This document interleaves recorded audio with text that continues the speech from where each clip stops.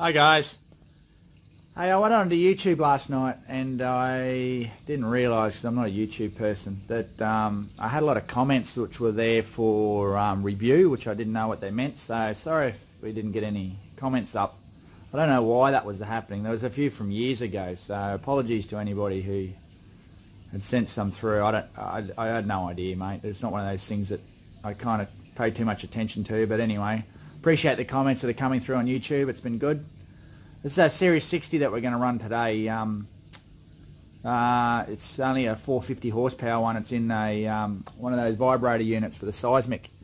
So I think there's one out. There's I think the last engine um, failed. Uh, I think it dropped the valve and ended up running amok. So this is one that we're currently just building to put back in that unit again. So nothing too exciting about this one. Not big horsepower, just 12.7 litre. Uh, DDEC 4.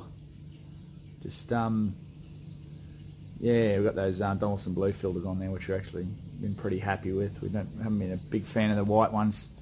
And some dramas with the pleats actually closing up on them. So for anybody who wants to run a better filter than your standard um, Donaldson whites, those blue ones are pretty good.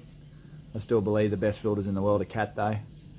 So we had that uh, Tiger Stripe hose on there we've been using for a while now. That um, has been holding up really good. This one's got the pleats a little bit closer than the last Tiger Stripe hose that we had. Because it was uh, running a mark up around 30 psi, we were starting to get some little holes in it. So this um, this new stuff, it's a different manufacturer, seems to be uh, seems to be the go. So this engine was built by our guys here, uh, Joel, our um, sort of our main engine builder now, I suppose. He's uh, he's away today, so doing this video for him. So um, yeah, enjoy guys. I'll try and get a video up of it um, in the uh, on the bench here. Do another run with it. I don't know if you guys appreciate that. I'll just sort of sit the sit the phone down and we run it up for five or so minutes when we start doing the pull down test. So we'll see how we go. Just ignore ignore all that electrical stuff there. We got to clean all that up yet. So um, yeah, that's about it, guys. All right.